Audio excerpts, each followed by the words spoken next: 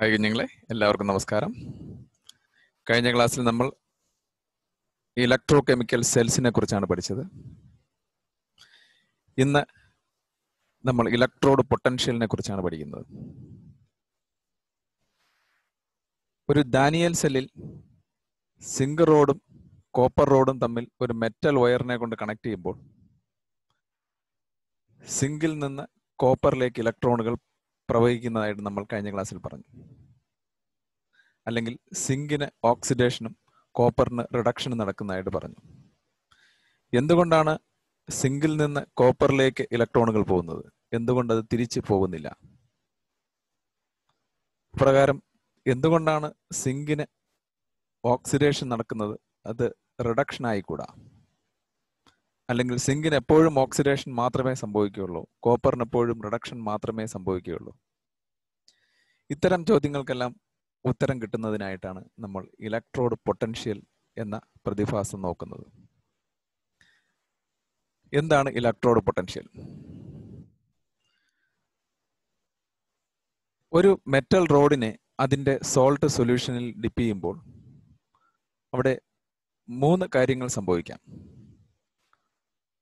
ഒന്ന് ആ മെറ്റൽ റോഡിലുള്ള ആറ്റങ്ങൾ അയോൺസ് ആയിട്ട് മാറി സൊല്യൂഷനിലേക്ക് പോകാം. മറ്റൊന്ന് സൊല്യൂഷനിലുള്ള അയോണുകൾ മെറ്റൽ റോഡിൽ വന്ന് ഡെപ്പോസിറ്റ് ചെയ്യാം. മൂന്നാമതൊന്ന് ഇത് രണ്ടും സംഭവിക്കാതെയും ഇരിക്കാം. ഇതിൽ മെറ്റൽ റോഡിലുള്ള ആറ്റങ്ങൾ അയോൺസ് ആയി മാറി സൊല്യൂഷനിലേക്ക് പോകുമ്പോൾ സൊല്യൂഷന് പോസിറ്റീവ് ചാർജും മെറ്റൽ റോഡിന് നെഗറ്റീവ് ചാർജും കിട്ടുന്നു. അതേസമയം സൊല്യൂഷനിലുള്ള അയോണുകൾ മെറ്റൽ റോഡിൽ വന്ന് ഡെപ്പോസിറ്റ് ചെയ്യുമ്പോൾ സൊല്യൂഷന് നെഗറ്റീവ് ചാർജും റോഡിന് പോസിറ്റീവ് ചാർജും കിട്ടുന്നു. ഈ രണ്ട് കേസിലും മെറ്റൽ റോഡും സൊല്യൂഷനും തമ്മിൽ ഒരു ചാർജ് ഡിഫറൻസ് ഉണ്ടാകുന്നുണ്ട് ചാർജ് ഡിഫറൻസ് ഉണ്ടാകുമ്പോഴെല്ലാം അവിടെ ഒരു പൊട്ടൻഷ്യൽ ഡെവലപ്പ് ചെയ്യും. ഇങ്ങനെ ഒരു മെറ്റൽ റോഡിനെ അതിന്റെ തന്നെ സോൾട്ട് സൊല്യൂഷനിൽ മുക്കി വയ്ക്കുമ്പോൾ ആ മെറ്റൽ റോഡിൽ ഉണ്ടാകുന്ന പൊട്ടൻഷ്യലിനെയാണ് ഇലക്ട്രോഡ് പൊട്ടൻഷ്യൽ എന്ന് നമ്മൾ പറയുന്നത്. അപ്പോൾ ഇലക്ട്രോഡ് പൊട്ടൻഷ്യലിനെ നമുക്ക് ഇപ്രകാരം ഡിഫൈൻ ചെയ്യാം. The potential developed when a metal rod is dipped in its salt solution is called electrode potential അല്ലെങ്കിൽ സിംഗിൾ ഇലക്ട്രോഡ് പൊട്ടൻഷ്യൽ അല്ലെങ്കിൽ ഇതിനെ മറ്റൊരു തരത്തിലും പറയാം. It is the tendency of an electrode to undergo oxidation or reduction ഒരു metal റോഡിന് ഓക്സിഡേഷനോ റിഡക്ഷനോ നടക്കാനുള്ള അതിന്റെ ടെൻഡൻസിയെയും ഇലക്ട്രോഡ് പൊട്ടൻഷ്യൽ എന്ന് പറയുന്നു.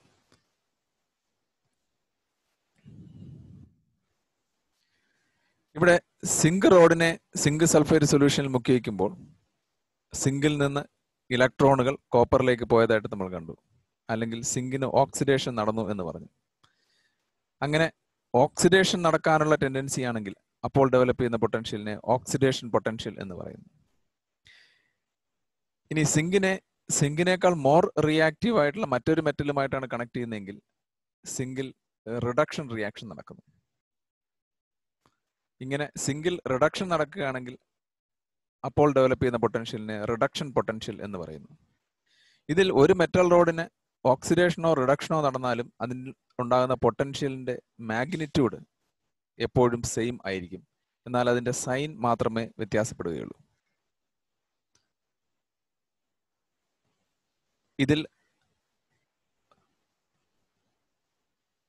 സാധാരണഗതിയായി റിഡക്ഷൻ നടക്കുമ്പോഴുള്ള പൊട്ടൻഷ്യലാണ് നമ്മൾ I U P S C system അനുസരിച്ച് ഒരു മെറ്റലിന്റെ അല്ലെങ്കിൽ ഒരു ഇലക്ട്രോഡിന്റെ പൊട്ടൻഷ്യലായിട്ട് നമ്മൾ കണക്കാക്കുന്നത്. ഇനി ഒരു ഇലക്ട്രോഡിൽ ഉണ്ടാകുന്ന പൊട്ടൻഷ്യൽ ആ ഇലക്ട്രോഡിന്റെ നേച്ചർ അനുസരിച്ച് മാറും. അതിനെ കൂടാതെ ആ ഇലക്ട്രോലൈറ്റിന്റെ കോൺസെൻട്രേഷനും ടെമ്പറേച്ചറും അനുസരിച്ച് മാറും. അതുകൊണ്ട് തന്നെ ഒരു യൂണിറ്റ് കോൺസെൻട്രേഷനുള്ള ഒരു സൊല്യൂഷനിൽ ട്വന്റി ഫൈവ് ഡിഗ്രി സെൽഷ്യസ് അല്ലെങ്കിൽ ടു നയന്റി എയ്റ്റ് കെൽവിനിൽ ഒരു മെറ്റൽ റോഡ് ഡിപ്പ് ചെയ്തിരിക്കുമ്പോൾ അതിൽ ഡെവലപ്പ് ചെയ്യുന്ന പൊട്ടൻഷ്യലിനെ സ്റ്റാൻഡേർഡ് ഇലക്ട്രോഡ് പൊട്ടൻഷ്യൽ എന്ന് പറയുന്നു. The potential developed when a metal rod is dipped salt solution of one molar concentration at two ninety eight kelvin and one atmosphere pressure etcetera ഇതിനെയൊക്കെയാണ് നമ്മൾ standard condition എന്ന് പറയുന്നത്. This potential is called standard electrode potential I U P S സിയുടെ convention അനുസരിച്ച് ഒരു മെറ്റലിന്റെ standard reduction potential തന്നെയാണ് നമ്മൾ electrode potential എന്ന് പറയുന്നത്. ഇങ്ങനെ പൊട്ടൻഷ്യലിൽ വ്യത്യാസമുള്ള രണ്ട് ഇലക്ട്രോഡുകളെ തമ്മിൽ കണക്ട് ചെയ്യുമ്പോൾ പൊട്ടൻഷ്യൽ കൂടിയ ഇലക്ട്രോഡിൽ നിന്ന് കുറഞ്ഞ ഇലക്ട്രോഡിലോട്ട് കറണ്ട് ഫ്ലോ ചെയ്യുന്നു. ഒരു കോപ്പർ റോഡിനെയും ഒരു സിങ്ക് റോഡിനെയും തമ്മിൽ കണക്ട് ചെയ്തിരിക്കുമ്പോൾ കോപ്പർ റോഡിനാണ് സിങ്കിൽ ഉണ്ടാകുന്നതിനേക്കാൾ പൊട്ടൻഷ്യൽ കൂടുതൽ ഉണ്ടാകുന്നത്. അങ്ങനെ പൊട്ടൻഷ്യൽ കൂടിയ കോപ്പറിൽ നിന്ന് പൊട്ടൻഷ്യൽ കുറഞ്ഞ സിങ്കിലേക്ക് കറണ്ട് ഫ്ലോ ചെയ്യുന്നു.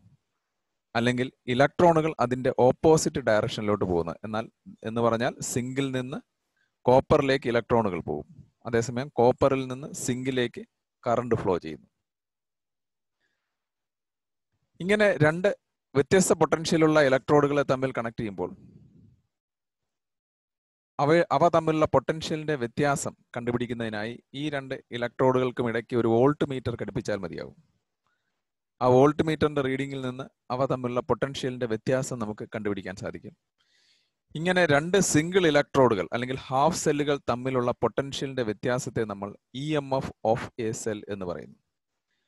ഇവിടെ ഹയർ പൊട്ടൻഷ്യൽ ഉള്ളത് കോപ്പറിനും ലോവർ പൊട്ടൻഷ്യൽ സിങ്കിനുമാണ് അപ്പോൾ സിങ്കും കോപ്പറും തമ്മിലുള്ള പൊട്ടൻഷ്യലിന്റെ വ്യത്യാസം കണ്ടുപിടിക്കുന്നതിന് potential of copper minus potential of zinc കണ്ടുപിടിച്ചാൽ മതിയാവും.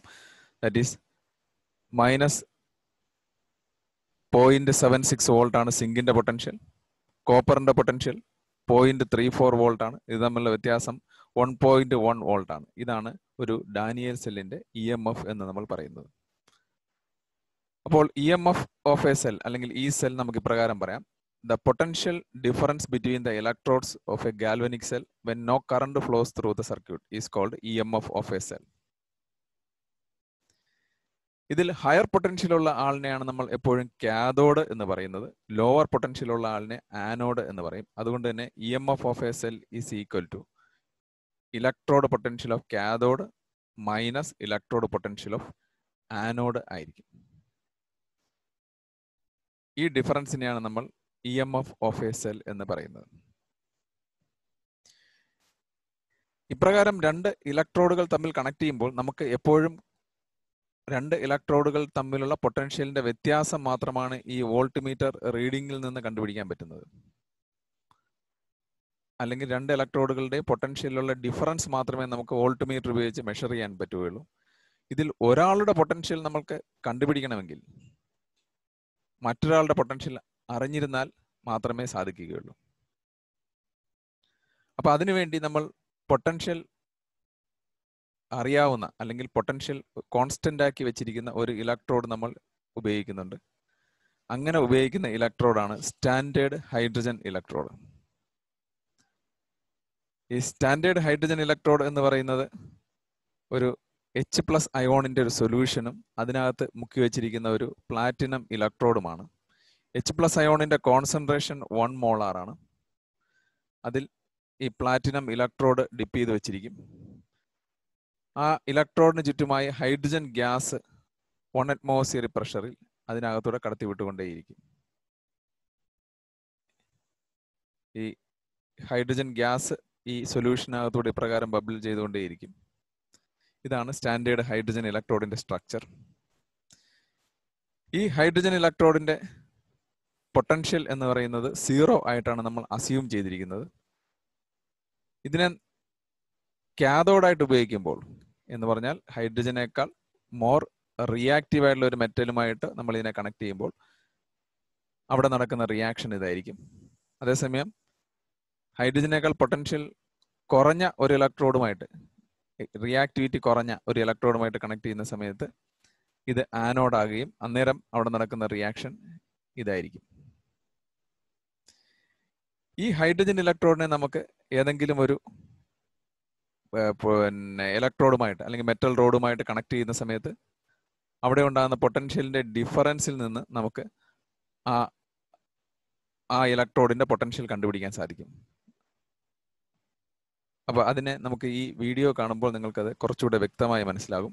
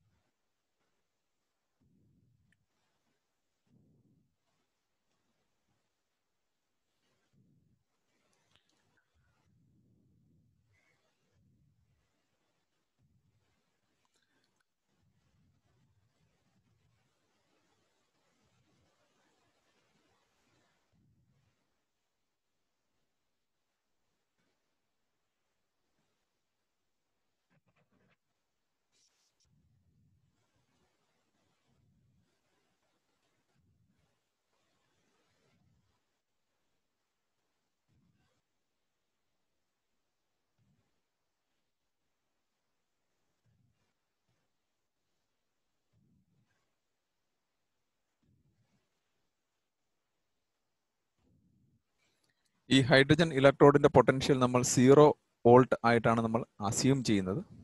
യഥാർത്ഥത്തിൽ ഇതിന്റെ പൊട്ടൻഷ്യൽ സീറോ അല്ല. ഈ ഇലക്ട്രോഡിനെ നമ്മൾ ഏതെങ്കിലും പൊട്ടൻഷ്യൽ കണ്ടുപിടിക്കേണ്ട മറ്റേ ഏതെങ്കിലും ഒരു ഇലക്ട്രോഡുമായിട്ട് കണക്ട് ചെയ്യുന്നു. ഉദാഹരണത്തിന് നമ്മൾ സിങ്ക് ഇലക്ട്രോഡുമായി കണക്ട് ചെയ്യുന്നു എന്ന് കരുതുക. അപ്പോൾ ഈ സിങ്ക് റോഡിലും ഹൈഡ്രജൻ ഇലക്ട്രോഡിലും നടക്കുന്ന റിയാക്ഷൻ കാരണം ഇതിലൊരു പൊട്ടൻഷ്യൽ ഉണ്ടാവുന്നു. ഇവിടെ നമുക്ക് ഉണ്ടായ പൊട്ടൻഷ്യൽ എന്ന് പറയുന്നത് പോയിന്റ് സെവൻ സിക്സ് വോൾട്ട് ആണ്. അപ്പോൾ ഇതിൽ ഹൈഡ്രജന്റെ പൊട്ടൻഷ്യൽ സീറോ ആയിട്ട് നമ്മൾ കണക്കാക്കുന്നതുകൊണ്ട് സിങ്കിന്റെ പൊട്ടൻഷ്യൽ നമുക്ക് മൈനസ് പോയിന്റ് സെവൻ സിക്സ് വോൾട്ടായി ഇതിൽ നിന്ന് നമുക്ക് കണ്ടുപിടിക്കാൻ സാധിക്കും.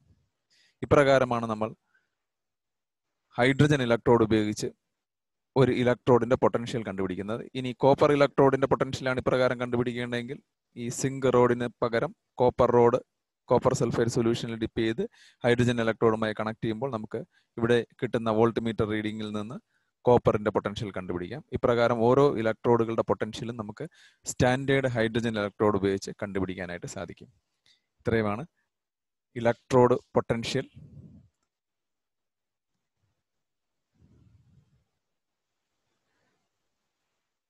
ബാക്കി വിവരങ്ങൾ നമുക്ക് അടുത്ത ക്ലാസ്സിലായിട്ട് നോക്കാം.